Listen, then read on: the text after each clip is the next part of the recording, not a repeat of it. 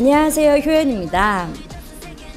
네, 저의 새로운 신곡 Second가 발매되었습니다. Second는 여름과 굉장히 잘 어울리는 경쾌한 분위기의 댄스 팝 장르 곡인데요.